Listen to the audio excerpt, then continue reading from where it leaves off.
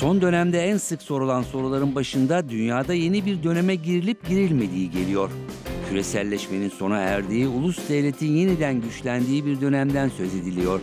İçe kapanmacı eğilimlerin arttığı, milliyetçiliğin, yabancı düşmanlığının ve otoriter yönetimlerin yükseldiği bir dönem bu.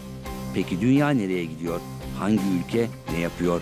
Pasaport ortaya çıkan yeni politikaların dünyayı nasıl etkileyeceğini masaya yatırıyor.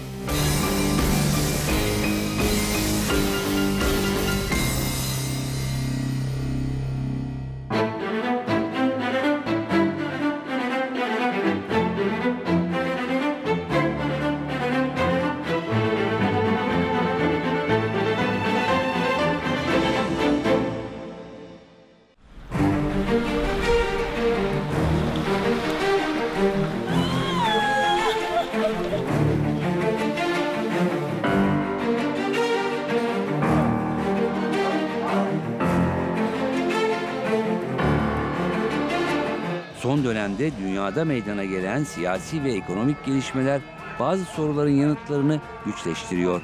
Kimilerine göre dünya önümüzdeki 10 yıl yeni bir döneme hazırlanıyor. Kimileri de eski formüllerle dünyada ekonomi ve siyasetin devam edemeyeceğini iddia ediyor.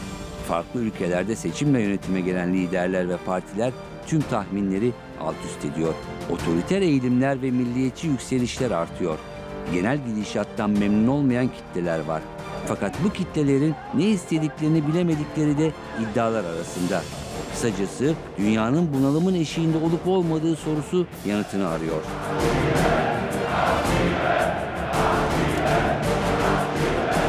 Dünyanın farklı coğrafyalarında uzun yıllardır unuttuğumuz eğilimler yeniden ortaya çıkmaya başladı.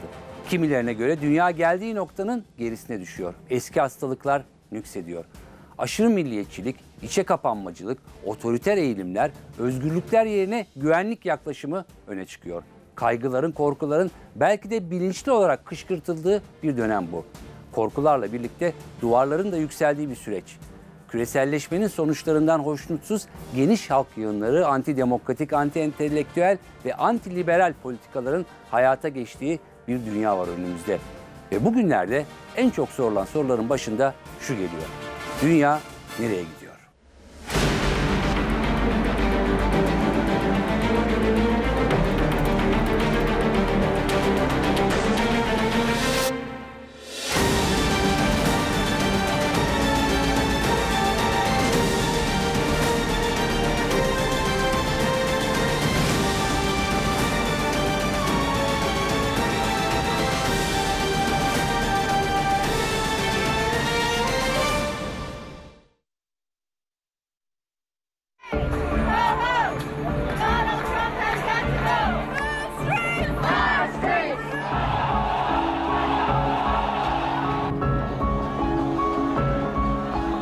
Önümüzdeki dönem demokrasi, insan hakları, özgürlüklerden söz edeceğimiz bir dönem olmayacak. Daha ziyade güvenlikten, otoriteden, itaatten e, ve isyankarlık veya işte itaatkarlık arasındaki dengeden bahsedilecek bir dönem olacak. 1946 yılında İskoçya'nın bir adasında bir Eric Blair adlı bir yazar kapanıyor bir kitap yazıyor. Biz o kitabı aslında başka bir isimle George Orwell adıyla ve bakılı 1984 diye biliyoruz. Biz onun tahmin ettiği 1984'te bunu görmedik. 89'da özgürlüklerden bahsettik ama daha sonrasında ise çok daha otoriterleşen, çok daha eee, baskıcı bir sisteme doğru gelindi. Eskiyle mukayese edildiğinde daha huzursuz bir uluslararası e, ortam mevcut. Bunun rahatsızlığını herkes hissediyor. E, bu e, öngörülemezlik e, bir yerde Soğuk Savaş dönemine ah nerede o eski günler diyerekten de yüksünmelere yol açıyor.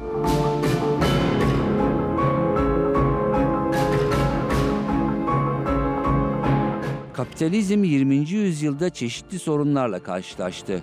Kimilerini çözdü, kimilerini de çözemediği için iki büyük savaş, Birinci ve İkinci Dünya Savaşları yaşandı. Dünya 1960'lar 70'lerde sağ ve sol arasında bölünmüştü. Aslında bu iki kutuplu dünya ve soğuk savaş dönemi anlamına geliyordu. Amerika ve Sovyetler Birliği üzerinden sağlanan bu dengede herkes karşısındaki gücün ne yapacağını bilirdi. Formüller belliydi. İkinci Dünya Savaşı sonrasında dünya ikiye bölünmüştü. Sosyalist ve kapitalist dünya deniyordu bu ayrıma. Ya da Doğu ve Batı bloğu, demir perde ve özgür dünya. Ayrı dünyaların simgesi Berlin Duvarı'ydı. 1961 yılında Doğu ve Batı Berlin arasında örülen 46 kilometre uzunluğundaki duvara uzun yıllar utanç duvarı denmişti. Çünkü Soğuk Savaş boyunca birçok kişi şehrin batı tarafına kaçmak için uğraşmıştı. Duvarı aşma teması üzerine romanlar yazılmış, filmler çekilmişti. Berlin Duvarı 28 yıl boyunca yalnızca bütün dünyayı birbirinden koparan bir sınıra dönüşmüştü. 89'da duvarın yıkılışı dünya tarihi açısından yeni bir dönemin başlangıcı oldu. Mr. Gorbachev, tear down this wall. Bu Soğuk Savaşı'nda, bu rekabetinde çok simgesel bir eseri var. O da Berlin Duvarı. Ee, Berlin Duvarı'nın ve onun aşılmazlığı, işte ve Berlin'in e, insanlık adına, Batı ve Doğu halkları adına e, taşıdığı değer aslında Soğuk Savaşı'nda sembolü haline geliyor. 1989'a bakınca gerçekten Fransız devriminden sonra 1789'dan sonra çok ciddi bir dönüm noktası oluyor. Bu aslında Sovyetler Birliği'nin dağılmasını da getiriyor ve Doğu blokunun ya da o hakim ideolojinin belki çökmesini de beraberinde getiriyor. Soğuk Savaş döneminin özelliği davranışların önceden öngörülebilir olmasıydı. Ee, bugünün ortamında zannediyorum bu tamamen değişti ve e, sadece iki kutuplu bir dünya düzeninin olmaması ve her ne kadar birbirleriyle eşit ve dengeli kutuplar olmasa da birden fazla kutup ya da kutupçukların ortaya çıkması bu öngörülebilirliği ortadan kaldırdı.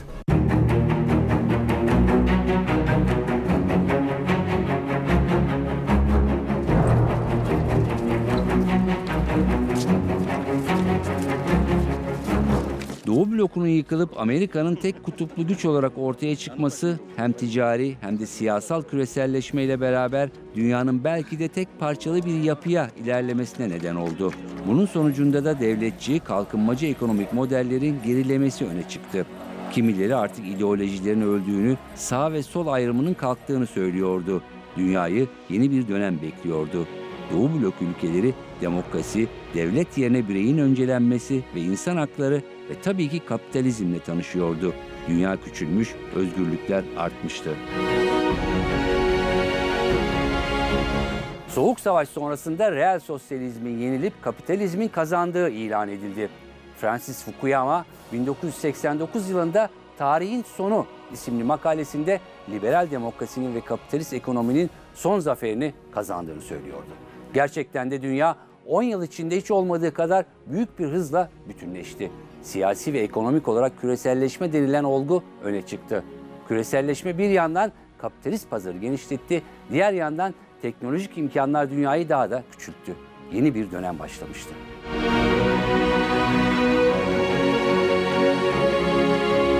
Soğuk Savaş sanki ideolojilerin savaşıymış gibi gözükse de bana göre aslında ekonomilerin bir savaşıydı. Bu liberal ve demokratik ve e, sosyalist ekonomilerin bir mücadelesiydi. İşte ekonomisini sürdürülebilir olamayan, olmayan, yapamayan Sovyetler Birliği ne askeri ne politik ne de e, siyasi gücünü e, geliştiremediği için bir yerde 1989 yılında e, dağılmakta karşı karşıya kaldı. Kim kazandı? Tabii yıkılan taraf Sovyetler Birliği olduğu için ve onun temsil ettiği ideoloji olduğu için o zaman kazanan tarafın e, liberal e, kesim veya kapitalist dünya olduğu düşünüldü.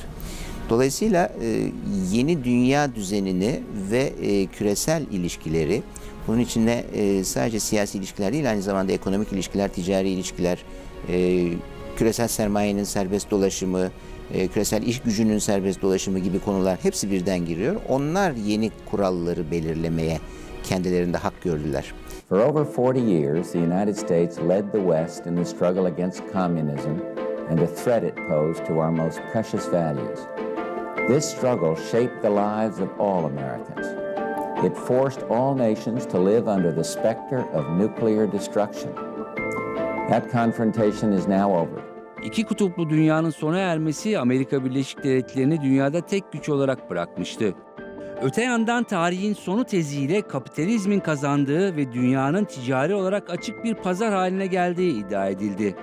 Bu, küresel ekonominin artık ulusal ekonomilerin önüne geçtiği, mal ve hizmetlerin dünyada daha kolay yayıldığı bir dönem oldu. Ayrıca büyük fabrikalar iş gücünün daha ucuz olduğu ülkelere kaydırıldı. İşte uluslararası örgütlerin etkinliği artacaktı.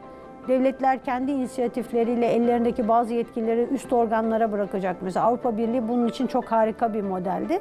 Böyle şeylerden söz ediliyordu. Yani liberal kapitalizmle küreselleşme birbirine özdeş kabul ediliyordu ve birlikte gelişiyorlardı. Üstelik de bagajlarında çok önemli birkaç kavramı ta- taşıyorlardı.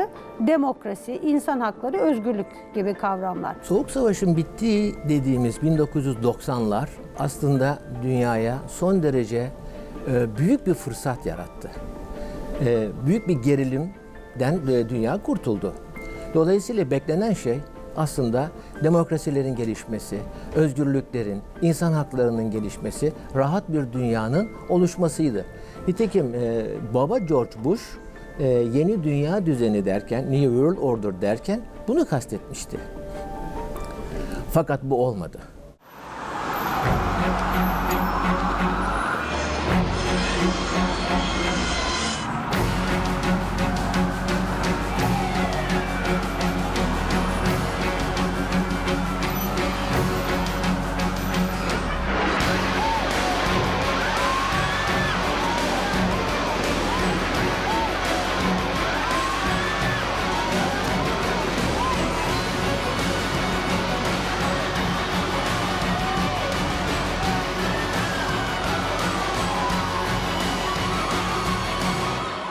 Soğuk Savaş'ın bitimi küresel ve barış dolu bir dünya düşüncesini ortaya çıkarmıştı.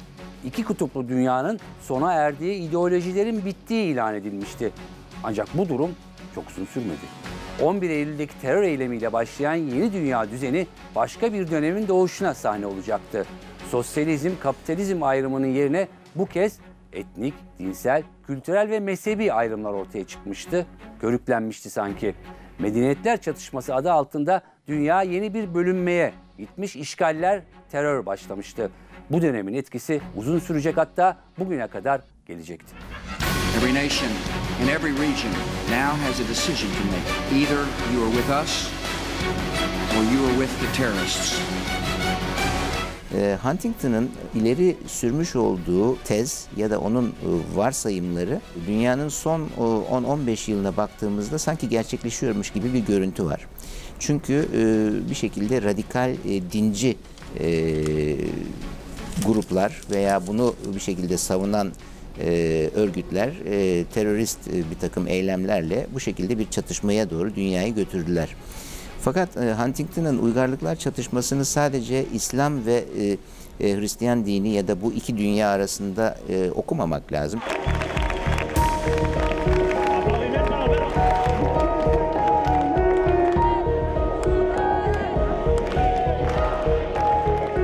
Son 10 yıla gelindiğinde ise eski dönemlerde yaşananlarla birlikte yeni eğilimlerin ortaya çıktığı görülüyor. Bununla birlikte soruların da arttığı. Dünya yeni bir dönemin eşiğinde mi? Bildiğimiz siyaset tarzı tıkandı mı? gibi sorularla birlikte dünyada daha otoriter eğilimler, milliyetçilik, ırkçılık, dincilik, mezhepçilik ve etnik kimlik vurgusu giderek artıyor. Etnik ve dini kimlik gerekçe gösterilerek terör olayları meydana geliyor, ekonomiler tıkanıyor.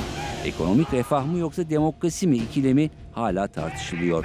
Küreselleşme krize girdi deniliyor. Özellikle kimi yorumcular bu konuda duvar metaforunu kullanarak dünyanın ve insanların içe kapanarak korunmaya çalıştığını söylüyor.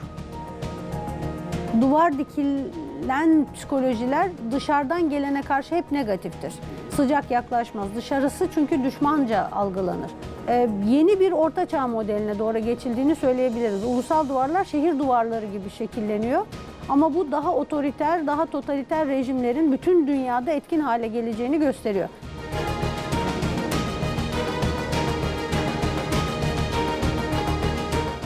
Dünya hızlı bir şekilde değişiyor. Özellikle son 30 yılda meydana gelen değişim ve dönüşümler insanlık için birçok aşamayı işaret ediyor.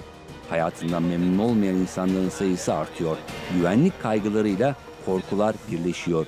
Gelir eşitsizliği büyüyor. Küresel ekonominin mağdurları giderek fazlalaşıyor. Soğuk savaş, küreselleşme ve uygarlıklar çatışması tartışmaları sonrası dünyanın yeni bir döneme girdiği söyleniyor. Özgürlüklerin yerini otoriter yöntem ve liderlerin aldığı bir dönem bu. Özellikle liderlerin ne söylediği değil, nasıl söylediğine bakan bir kitle söz konusu. Dış dünyaya kapanan, duvarların yükseldiği, kendisi gibi olmayana sırtını dönenlerin arttığı bir süreç. Küreselleşmeden ulus devlete geri dönülen bir dönem. Toplumların korkularını körükleyen bir anlayış. Yaşanan ekonomik sorunları küreselleşme ve yabancı göçüne yükleyen bir yanılsama.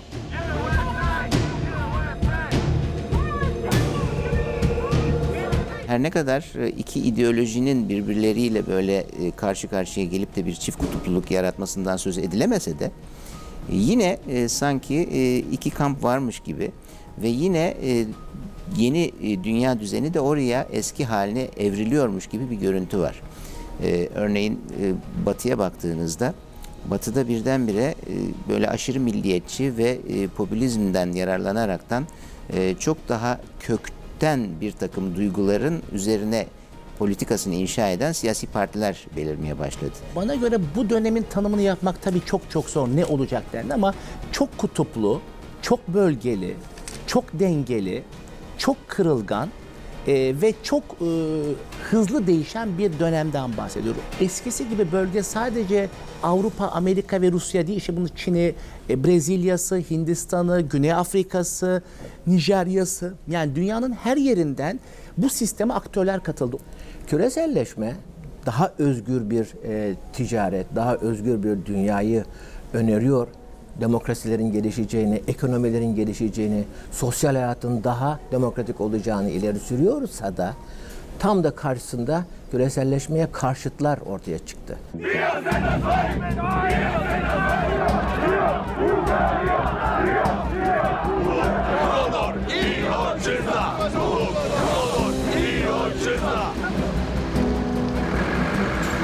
Dünyanın siyasi ve ekonomik krizden geçtiği ortada.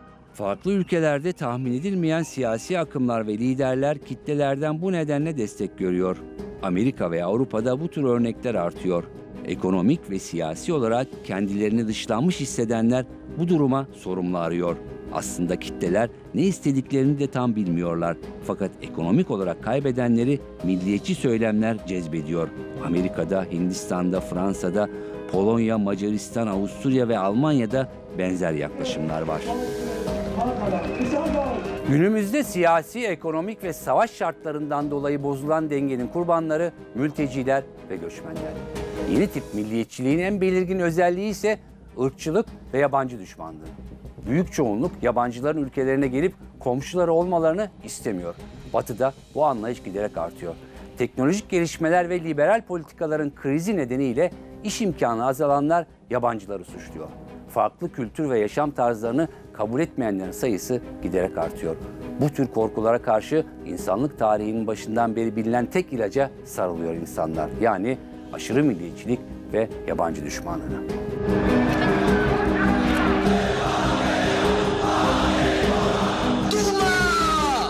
Dünyanın her yerinde bu böyle. Bakın Macaristan'da Orban'ın e, ana politikası bu. Hollanda, Polonya, Finlandiya, Almanya tamamında çok yaygın sağ hareketlerin yükselişine şahit oluyoruz ve bunun en önemli nedeni de dışarıdan gelen yabancılara karşı oluşan reaksiyon. Bu sadece güvenlik olarak da tanımlanamaz. Ayrıca istihdamla ilgili bir boyutu da var. Benim işimi elimden almaya gelen bir yabancı olarak görülecek her dışarıdan gelen. Pasta küçülüyor ve pastadan pay alanlar eskisi kadar pay alamadığını görebiliyorlar. Hakim güçler bugün pastada ve ekonomide payını kaybediyorlar ve başka aktörler çıkıyor. Ve o nedenle de bu gelir dağılımı, gelir dağılımı bozuklukları e, gibi konular e, milliyetçi ya da çok daha kapalı e, durumları beraberinde getiriyor. Bu da tabii çok tehlikeli bir süreç. Yani bu Amerika'da da bunu görebiliyoruz, Avrupa'da da görebiliyoruz. Çünkü küreselleşme e, bir takım ulusları, devletleri e, güçsüzleştirmeye başladı. Büyük devletlerle ticari anlamda e, baş edemez hale geldiler. İşte bunun ülkelerdeki negatif e, sonuçları da sağ kanat popülizmini ortaya çıkardı. Kapitalist dünyanın e, hep savunduğu küreselleşmenin ve sermayenin serbest dolaşımı sağlandıkça e, şu anda daha az gelişmiş olan ülkeler de bu serbest ortamdan, serbest ticaretten yararlanacaklar ve onların da ekonomik kalkınmaları gerçekleşecek dendi. Ama e, bunun böyle olmadığı e, çok kısa bir zamanda görüldü. İnsanlar tabii kendi iç pazarlarında olabildiğince işsizliğin e, ortadan kaldırılmasını hedefliyorlar. Avrupa'da e, sığınmacıların ve mültecilerin e, bu şekilde hor görülmeleri veya istenmemesinin sebebi bir şekilde iş pazarında paylaşım e, zorunluluğunun doğması.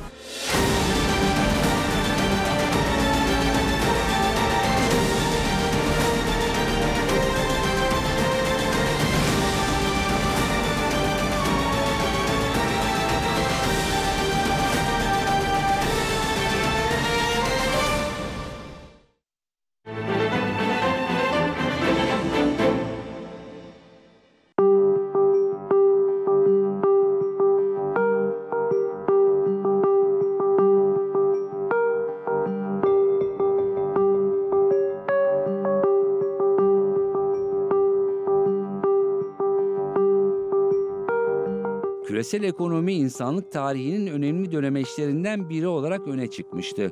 Ulusal ekonomilerin dışarıya açıldığı ve dünya ticaretinin hızlandığı bir dönemdi bu. Neoliberalizm olarak adlandırılan politikaların en önemli özelliği bu dönemde sosyal devletin ve sosyal güvenlik mekanizmasının giderek ortadan kalkmasıydı. Bunun sonucunda farklı kesimlerdeki insanlar bu durumdan olumsuz etkilendi. Bazı ülkelerde sanayi tesisleri kapatılıp emeğin daha ucuz olduğu Doğu Asya ülkelerine taşındı. Amerikan Başkanı Donald Trump'ı koltuğa taşıyan da bu duruma karşı geliştirdiği basit formüllerdi. I will be the greatest jobs president that God ever created.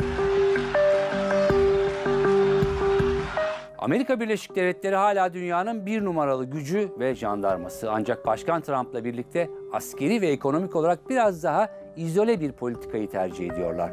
Dünyanın bütün güvenliğini biz sağlayamayız. Bunun karşılığının ödenmesi lazım yaklaşım hakim. Trump ayrıca anti-elitist, sıradan halkın ezildiğini iddia ettiği bir söylemi devam ettiriyor. Meksika Duvarı projesi hala gündemde.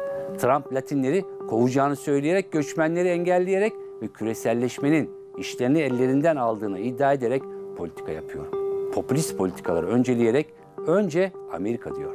America first. America first. Amerika esas küreselleşmenin ve e, serbest e, ticaretin en büyük savunucusu olduğu halde e, bunun sonucunda ortaya çıkan bir takım e, adaletsizliklerin sonucunda e, bir ciddi göç dalgası ve bir ciddi sığınmacı, mülteci dalgasının ortaya çıktığını gördü. Trump tutarsız bir lider. Yani önce Amerika sloganıyla geldi. Evet e, Trump diyor ki kimse benim içime girmesin ben ben dünyanın her yerine girebileyim. Bu ideolojik anlamda çok mümkün olmayan bir şey. Yani liberal bir ekonomiden bahsediyoruz ama ben dünyanın her yerine gideceğim ama Amerika'ya kimsenin gelmesine izin vermeyeceğim. Şirketlerin girmesine izin vermeyeceğim. Duvarları yükselteceğim diyerek bir e, tutarlılık gösteremiyor. Yani Trump'ın yaptığı öyle çok fazla bir şey yok. Sadece Trump birazcık e, coşkulu ve yüksek bir tonda Meksika meselesini ön planda tutuyor ve Meksikalı göçmenlere karşı bir duvar yapmaktan söz ediyor. Aynı zamanda Trump'ın söylediği bir başka şey daha var. E, diyor ki Amerika'yı yeniden büyük hale getirmemiz lazım. Ve bunu yaparken Amerikalı işçi çalıştır diyor. Amerikan şirketi yurt dışında e, şey yapan, yatırım yapmış olan Amerikan şirketlerini ülkeye yeniden e, çağırıyor. Tekrar Amerika'ya gelin yatırım yapın diyor. Amerikan malı kullanın diyor ve son derece milliyetçi tespitlerle e, Amerikalılığı ön plana çıkartmaya çalışıyor. votre quartier, votre village, l'école de vos enfants, votre vie, votre niveau de salaire seront inévitablement impactés par le choc. Moi, présidente, le rétablissement des frontières sera mis en place dès le lendemain de ma prise de fonction. Amerika'dakine benzer bir eğilim de Avrupa Birliği'nde ortaya çıktı. Aslında 2008 ekonomik krizinin etkileriydi olan biten. Belki de refah devletinin sonuna gelinmişti. İlk zamanlarda çalışanlar refahtan pay alsa da sonrasında giderek yoksullaştılar ve işlerini kaybettiler. Göçmenler hedef tahtasına kondu. Yabancı düşmanlığı körüklendi, Müslüman karşıtlığı arttı. Avrupa'da yükselen sağ hareketlerin düşmanlıkları göçmenlere olduğu kadar bu politikaları yumuşatan Avrupa Birliği düşüncesine de yöneliyor. Göçmenlere karşı duranlar aynı zamanda AB'ye de karşı. Brexit referandumunda ayrılma kararının çıkmasında ülkeye dışarıdan gelenlere karşı duyulan öfkenin rolü vardı. Son yıllarda Avrupa'daki neredeyse bütün seçim kampanyalarının ana teması göçmen ve Müslüman karşıtlığı. Geleneksel kitle partileri bile faşistlerin yani aşırı sağcıların önünü kesmek için faşizan söylemlere bel bağlıyor denebilir.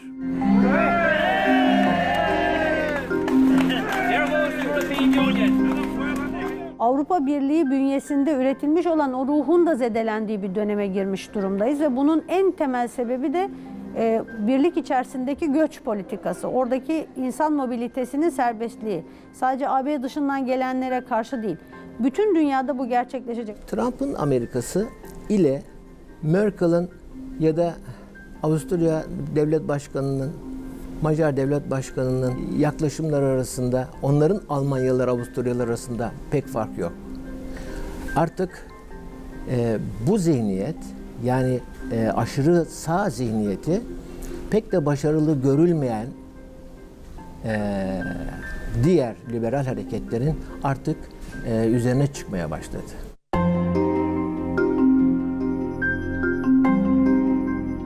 Bu dönemin en önemli özelliklerinden biri de güçlü otoriter liderlerin sayısının giderek artmasıydı.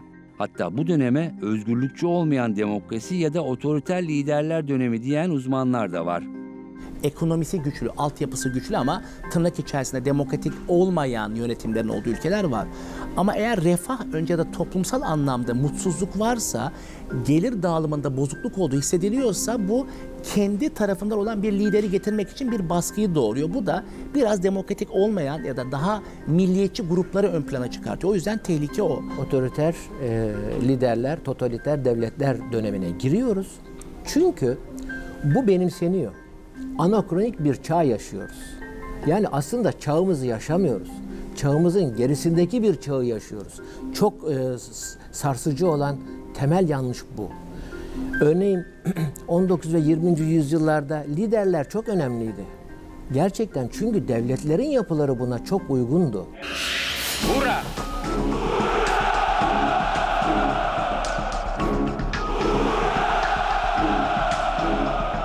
Soğuk Savaş sonrasında eski gücünü yitiren Rusya, Putin'in yönetime gelmesiyle birlikte yeniden dünya sahnesine çıktı. Rusya ilk yıllardaki savrulmanın ardından askeri ve ekonomik olarak yayılmaya başladı.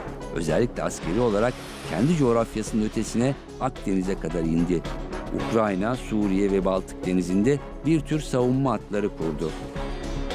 Sovyetler Birliği sonrasında Rusya zor günler geçirmişti. Dünyadaki hakimiyetini yitirmişti. Ama son 20 yılda giderek toparlandı. Putin, Sovyetler Birliği'nin yıkılışının ardından geçiş ve çekilme döneminin tamamlandığını, ülkesinin etkili bir aktör olduğunu söylüyor. Zamanında Rusya için yıkıldı, bitti sözcüklerini sıkça kullanan yorumculara inat, aynı ülke küresel güçler dengesini sallamaya başladı. Yeniden bir dünya gücü oldu. Bu aynı yüzyıl içinde iki defa emperyal çöküş yaşayan Rusların küllerinden yeniden doğuşu gibiydi. Rusya'nın tekrar geri gelme çabası e, önce kendi evine ve kendi iç düzenine bir çeki düzen verdikten sonra hızlı bir şekilde başlamıştır. E, bugün yeniden gelinen e, noktaya baktığımızda hala bugün acaba yeni bir soğuk savaşa mı e, gidiyoruz? Yeniden böyle bir denge mi ortaya çıkacak? E, bu dengenin yine e, kurucuları bir yerde Rusya, diğer tarafta Amerika Birleşik Devletleri mi olacak? Hep bütün bunların tartışılmasının sebebi de budur. Bence e, Putin Yeltsin sonrasında Rusya'nın yeni çar diye özlem duyduğu güçlü bir lider figürüydü Putin. O nedenle Sovyetler dağıldıktan sonra Rus e, vatandaşı yine güçlü bir lider arıyordu. Çünkü Doğu toplumlarında bu lider figürü son derece önemli. Putin gerçekten kendi ülkesi içinde ve bölgeler içinde de ciddi bir nüfus sağladı. Ee, evet askeri anlamda çok örnekleri var e, ilişkiler ama enerji konusunda da Batı ile ilişkileri çok belirleyici hale geldi.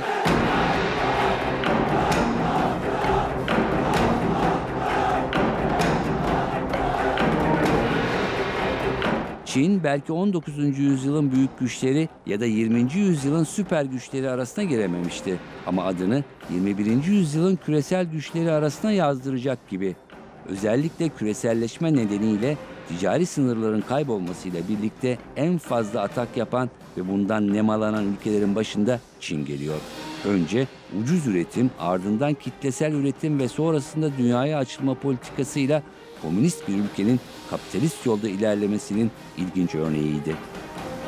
Çin sanki küreselleşme ideolojisinin yeni dinamosu. Dünyayı İpek yoluyla bir kuşak bir yol gibi projelerle birbirine bağlamaya talip büyük bir ekonomi. Büyük bir askeri güç. Dünyanın her yeri onlar için ekonomik bir alan.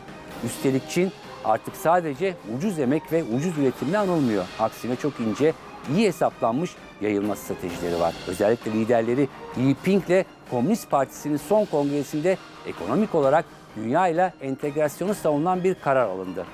Dünya satında yatırım yapıyor, üretiyor. Komünist Partisi'nin liderliğinde yeni bir kapitalist düzenin inşası tasarlanıyor. Artık dünyanın en büyük komünist partisi küreselleşme ideolojisinin en önemli taşıyıcısı halinde.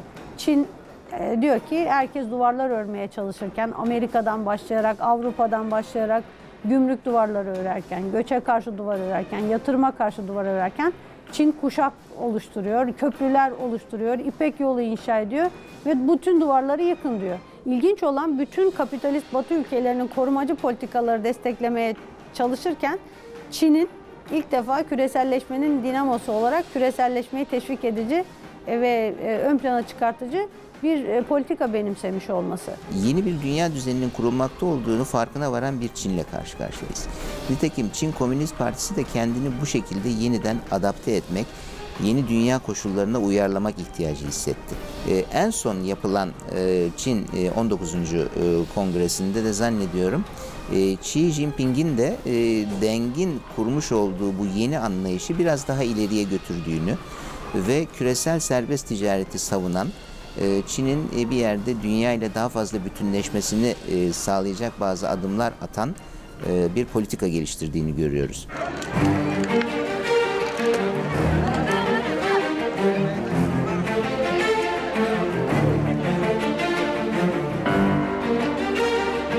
Dünyanın geldiği noktada ekonomik refahla demokratik taleplerin birlikte ele alınması gerekiyor. Ancak dünyada bugün birçok siyasetçi seçmenleri bir tercihe zorluyor. Oysaki refah demokrasinin bir alternatifi değil. Eğer özgürlükçü, demokratik temel hakları gözeten bir yeni hareket başlamazsa yoksul kitlelerin daha radikal sağ söylem üstünden milliyetçiliğe, yabancı düşmanlığına kaydığını görmek mümkün. Popülizm eşitsizliğin nedenlerine inmeden insanların huzursuzluğu ve mutsuzluğundan yararlanıyor diyenler var. Her ülke ve coğrafyaya uygun bir düşman bulunabiliyor. Yerleşik düzenden mutsuz kitleler mobilize edilebiliyor. Yükselen duvarlar arkasında daha güvenli ve refah yaşayacağını düşünenlerin sayısı artıyor. Oysa duvarların yükselmesi ve içe kapanma korkuları da arttırıyor. Bu gidişatın dünya ve insanlığı nereye götüreceği ise bilinmiyor. Bilinense demokrasi, özgürlükler ve insan haklarının azaldığı oranda korkuların arttığı, refahın paylaşımındaki düşüşün yabancılardan değil ekonomik sistemin kendisinden kaynaklandığı. Aşırı sağ popülizmin e, yarattığı önemli bir e, uçurum var. Bu uçurum halkın ikiye bölünmüşlüğünün getireceği sıkıntı. Eğer bu çukur, bu uçurum büyürse ve her iki taraf güçlenirse birbirlerine düşman olan e, bu halkların e, bizi getireceği e, sonuç hiç istenmeyecek bir e, çatışmalara e, sürükleyebilir. 5 yıl 10 yıl gibi aslında kısa vadelerde e, bana göre milliyetçi rüzgar çok daha fazla artacak. Her yerde ötekine tahammülsüzlüğün, her yerde milliyetçiliğin, her yerde bu tip radikal hareketlerin güçlendiğini görüyoruz ve aynen hep diyorum Sovyetler Birliği'nin dağılması ve 1989 bize bir örnek olmalı.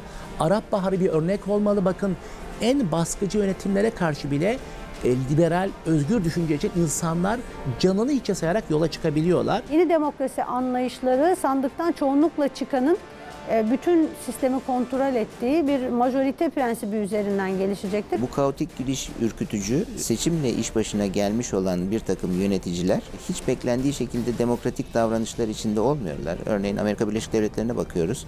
Ben ama hep e, yine e, çarenin demokraside olduğunu, e, otoriterleşmenin hiçbir şekilde yeni dünya düzeninde bir çıkış yolu olarak görülmemesi gerektiğini düşünüyorum.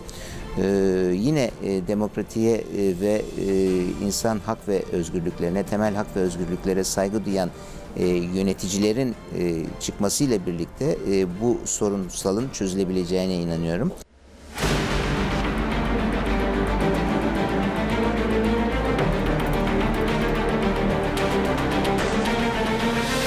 Dünyada sanki yeni bir dönemle karşı karşıyayız. Güçlü, otoriter liderlerin hakim olduğu, bireylerden önce devleti, duvarlar arkasında güvenliği önceleyen, kendinden farklı olana karşı olan bir anlayış bu. Birçok kişiye göre bu durum insanların tercihi olduğu kadar liderlerin tercihi ve yönlendirmesi. Dünyanın bu döneminde insanlar sanki korkularla yönetilmek isteniyor. Ancak bunun tam tersini yani özgürlükleri önceleyip demokrasiyle daha güvenli yaşanacağını savunanlar da var. Ya da aşırı sağ ve aşırı milliyetçi eğilimlerin panzehirinin onlarla mücadele kadar geniş demokratik hakları olduğunu öne sürenler. Şimdi böyle bir ortamda dünya yönünü bulmaya çalışıyor.